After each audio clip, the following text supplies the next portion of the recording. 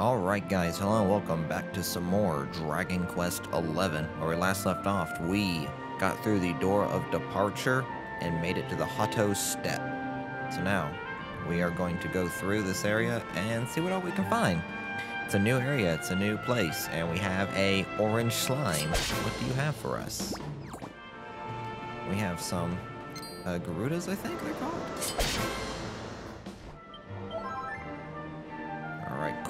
We got those three battles done. Yeah, second Garuda came up and uh, attacked me as you saw. So now we just have to press onward through the Hotto Step. God, look at that place. Look at that volcano. Whoa, is that Mount Doom? Mount Doom's great. Oh, we have a Bongo Drongo. That's what they're called. Lamp. Hotto, door departure. Bongo. More slimes after we defeat the Bongo Drongo. And we have some things, I believe, up around here. Nope. It's on the other side, that's right. So we're gonna go up here. Run around. We have the sparkly spot. Lava lump. And we can't get to that yet. We need a different kind of monster to get to it. Can't go up there. I missed one. An item right over here. Yeah, it's really nice being able to just run around and grab things sometimes. What is this? Warm, Warmaline. It's fun just run around, enjoy the scenery, and, grab the items, you know? It's kind of what I love about uh, open world JRPGs or games like you know from ga- FromSoft games. I can just kind of do what I want, just kind of run around. Well, I like FromSoft games because you, they you know give you little to no story, your own character, and you can just kind of run and do what you want in it in your own pace in your own order. Though sometimes I like the more consolidated. A nice few items there. Uh, sometimes I like the more consolidated, just straightforward, open-ish world JRPG to where I can just run around and just kind of do my own thing, really. But still follow a tight-knit story, because I love storytelling. It puts a smile on my face when I cross over this little log here. Fight some lump mages. Just want some. Alright, Levin leveled up. Perfect. Now, Levin's now level 11. Nice. Oh, no, so's Erik. Wonderful. Now we're not going to use our skill points right away. We have a campsite here. Don't really need it at the moment, but we'll get it later. Getting further into the Hotto Step, where we've got a few more items. Hello, little friend. Got something up here. Can't remember what this is. Oh, Wake Robin. We've got some more ore we need to mine.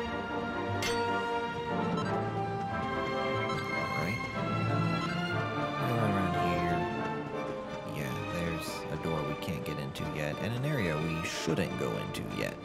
I mean, we can, but I don't really feel like it. But yeah, really, really enjoy more of the tight-knit stories. I'm, I'm two extremes. I either like the really tight-knit stories, where you have like a big world to run around in and do it at your own leisure, or you have uh, more FromSoft games where it's abstract and just go wherever you want.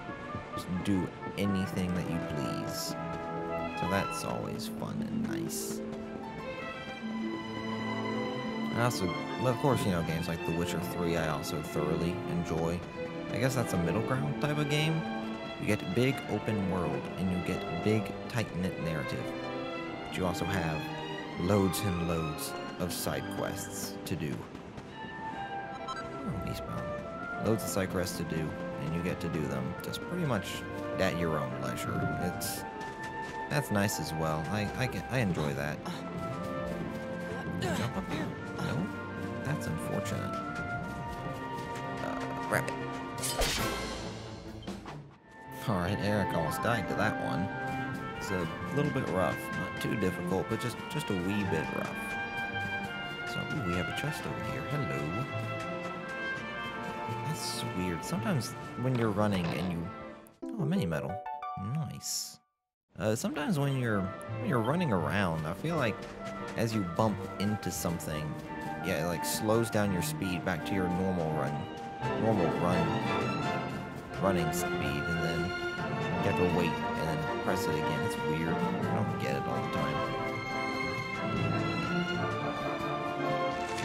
Uh, how much more we got to find? Oh, there's one right behind me. Sir. Okay. I guess I didn't check on this side over here. No, I did not. Okay. Cool. Uh, glass frit. Alright. I guess we can make our way back over to Hotto. Or, actually, we can go to Mount Huji. That sounds pretty alright. Yeah, that's what we'll do. We'll go to Mount Huji real fast, mice. I just love that. In this world of monsters and mythical stuff and all these crazy things, you just have ordinary mice running around, or birds, or you know, just like what's over here in a second is just deer. Just, just deer. I don't know. That's always funny to me having these wide variety of very cartoony, very dangerous looking, spooky or silly monsters. And then what do you have? Deer, rat, uh, birds. It's entertaining to me. That's about Huji. How Huji? Mount Huji.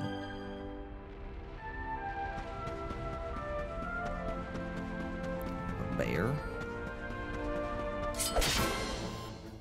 Uh, got a little bit spooked there, but you know, I figured it out. Just gotta be smart with you. That's the cool thing about this game. Firmly shut. Okay.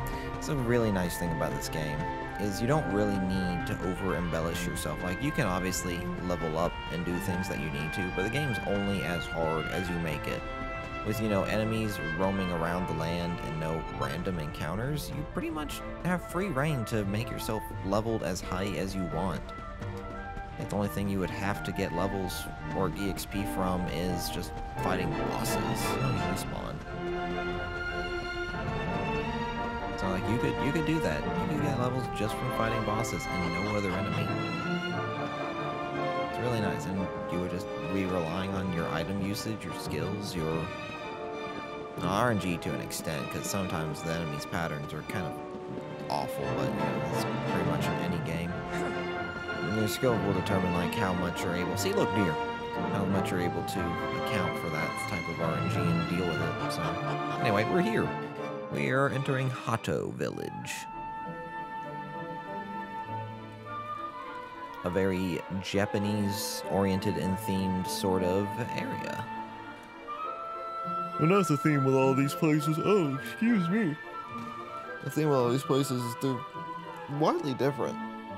Civilization at last. And I think it's safe to say we're not being followed anymore. I thought so anyway. Two travelers come. Their timing is auspicious as the day's new dawn. And they talk funny too. My bathhouse awaits. Savor its steamy embrace as frogs do spring rain. Rejoice, honored guests, for to mark this happy day, you may sweat for free. Um, we're kind of busy to be sweating. Thanks. Appreciate the offer, though. Too busy to bathe? Too busy to wash away the scent of the road? Huh? Okay, maybe I'm not at my freshest. Fine. I'll visit your bathhouse if it means that much to you. Might as well go sweat off the journey while we have the chance. I'll see you in there, okay? The winds bring a guest. Joyfully I shall guide him to where bliss awaits. All right. Well, you have fun um, sweating, Erik. While you're doing that, I'm going to be exploring and looting everything we can in this town. So, as you know what our custom is... Oh, hello. Okay. You know what our custom is? We're going to take an area. We're going to scour all around it. And then we are going to continue. Recipe book. Introduction to armor. That's how it makes bronze armor. Cool. That'll be useful. So yeah, we're going to scour every little area here because usually there's always something. So what I'm going to do is scour around these edges first. That's usually a good idea, and then we can backtrack and go back into the the houses. Ooh, hello. Monoline. As you can see, we've got actual uh, side quests to do here now. Haven't had a side quest for a little while. They're fairly sporadic through the game. There's, I think, 39 or 40 in total, so not a whole lot of side quests, but enough that they give you... It's not too many either. Mini medal. They give you pretty good items for uh, completing them, usually. And I guess because they're so condensed, they're able to put a little bit more into them. And they're not anything too crazy. They're not Witcher 3 side quests, but you get some pretty good items and you're able to do really cool things with what you get with it. So, and then the items really help too. They're sometimes they're really nice items. Okay, cool. Now we can begin searching within the buildings. Alright, so look around. Hello, madame, sir. We're going to uh, inspect your inn, see how things are. See, they're in tip-top shape for uh, for guests, in case you ever take any. We have a party of two at the moment, so all you need is one room, plain clothes.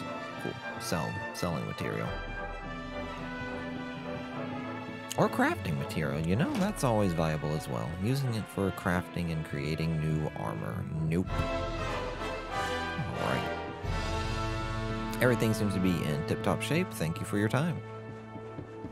Item shop. I'm probably going to be using the item shop more than anything, because I don't really use inns all that much. Well, inns in older games were kind of necessary. That's all you had. In this game, it's not so much. It's... Essentially just go to a campsite. You don't have to run back to a town like you did in 8 to... to rest. So, it's kind of convenient. Would y'all like to see a playthrough of Dragon Quest VIII? It's been a... well, not a long time. I beat it sometime last year because it had been a while since I had last played it, but it's one of my favorite games. It and this are tied, hence why I'm using the Dragon Quest VIII music for a lot of stuff, so... What we got? Diary of Tetsu the Smith. Part 1, A Dream is Born. My name is Tetsu. I'm 48 years old. I am a blacksmith. This morning I sat. An amazing coin I spied. Wondrous workmanship. I made inquiries, spent all day and learned its name, the Mini Medal. I must leave Hotto and find the coin's creator, learn how it was made. Do not fear, mother. I shall return a hero, a smith without peer. You know, the way he said he inquired about it makes it sound like he just spoke to the to the coin, to the mini medal, over and over for extended period of times, and eventually got fed up with him. He's like, "Look, I'm a mini medal, okay? There, you learned my name. Shut up." And now he's just he's so content with that. Flaxen thread. He's like, "Aha, a mini medal you are." And if you notice, everyone in this town pretty much speaks in poem or rhyme, lyrically. So we have a side quest up over here, which I think we can go ahead and complete because Oh, sorry. excuse me, because uh, we already did the exploration of going around and getting the materials and such, so we can pretty much go out. That's kind of like why I like playing the way I do. It's fun to go out and run, come in, and do things in, you know, the proper order. You know, come into the town, get all your stuff, and then run back out, complete your quest, go on your little adventure, and then come back. But I like also just consolidating everything to, all right, I'm going to get all my outdoor exploration, explore, exploration, all my outdoor exploration and item collecting done first, and then I'll take care of all the town stuff. It's a very methodical way to play the game. Not a lot of people enjoy it, but you know, it's what works for me. It's what I enjoy. Sometimes I do like doing it the old-fashioned way. You don't really have much choice in You are a pilgrim? Then come, friend. Join me in prayer. Give thanks and be well. You gotta really have a choice in what you do in older Dragon Quest games or older RPGs in general. It's just kind of, alright, you made it through the RNG battles. You're into town. Aha, now we have a side quest for you to do. Go back out and do it. And also, you couldn't have done it before. You couldn't have done it before because it didn't unlock till just now, so have fun. Kind of an archaic approach to it, but you know. Old school JRPGs. Yeah, what would y'all like to see next? I'm planning on, you know, having at least a second playthrough to run concurrent with this on the channel. I already know what it's going to be. I also want to know if y'all guys would like to see, I don't know, possibly another game too. I don't know how I would find the time for three games, but one one after this one pops up. No, one after this one finishes. Do y'all want a second Dragon Quest game to be played? I know they're kind of longer games. Gonna have lots of parts. Games like I like long games, alright? Games that'll take me a long time to do. Oh, I didn't go in the building. You know, I like longer running games. They're they keep my attention. I like getting my 60 or I guess 70 dollars worth out of my game. Or 70 now. I need to buy a PS5 actually. That's what I want to do. That's something I need. I don't need, I want it. But I want to do a playthrough of Demon's Souls on the on the channel because I own it for the PS3. But recording anything on the PS3 is a hassle. So I kind of so my initial thing was, oh, I'm going to record everything on the PS3, and then that kind of became a bust because like, oh, you got HDCP or whatever it was, and you couldn't disable it. Right, side quest. So that kind of forced me to migrate to. So I almost brow the hammer on hot iron, the life of a smith. Heart of our fathers, a village built on this trade, a proud tradition. We need iron ore, the mountain abound, mountains abound in it, an endless supply. Help us to find it. Gather the ore we so need. A reward awaits. Yep. Your words glow like gems. You have a miner's spirit, a will of iron. Now seek out that ore. Look for crystals in the rocks. There you will find it. Find a source of ore. Rain down blows with your hammer. The prize will be yours. Alright, cool. He's basically telling us where to go for it. We already did. Yeah, I like uh, longer running games. They're... Nice. Oh yeah, PS5. I want to do Demon's Souls on the channel and the PS3 just became a hassle to record because of all of its ooh iron. Okay.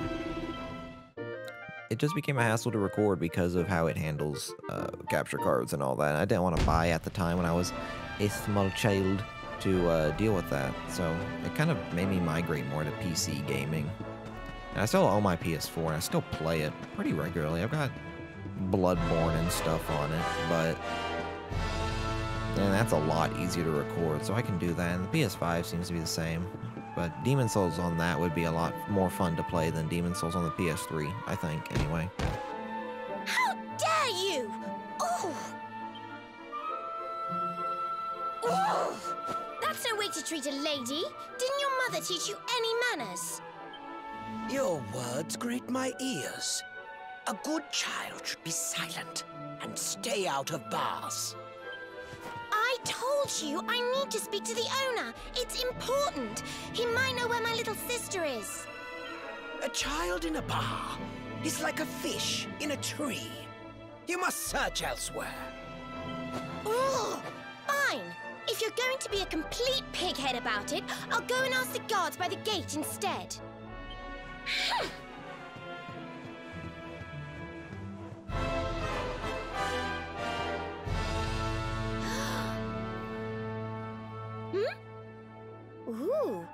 what do we have here? Well, are you going to tell me your name or not? No, yeah. Hmm. Could be worse, I suppose. Excuse you? Listen, you and I need to talk, but my little sister is missing, so I have to go and find her first. I never thought I'd finally meet you in a place like this. It's funny how things work out.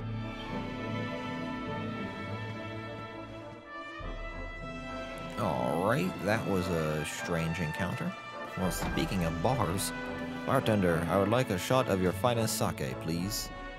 Alright, so nothing's really in here except for another side quest. And.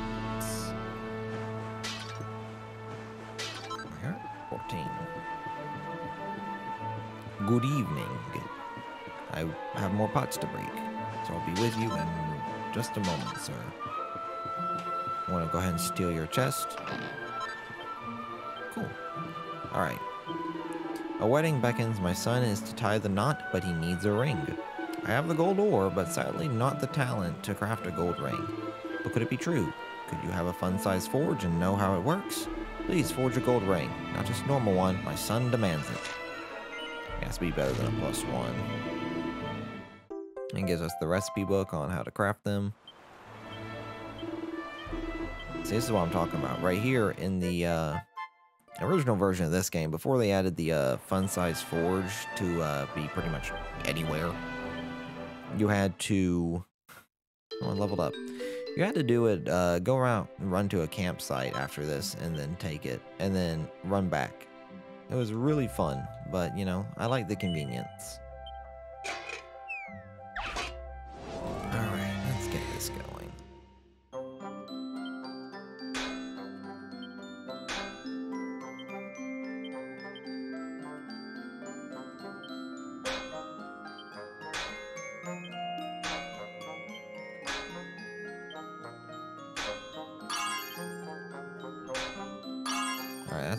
Good we're gonna get with that, I think. It'll probably be like a plus two or something.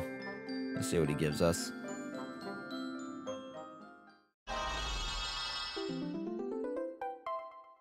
Yep, there we go. Alright, I'm going to take care of the rest of these items to forge, and then we will give him the ring. So I'll be back in just a moment. Alright, so we got ourselves a new sword. It is the Iron Broadsword 2. We got new armor. It's going to be this bronze armor. A little bit better. We're going to work it again at some point. We could use the gold ring, but we have to give that to the old man. And he doesn't really wear anything else. So...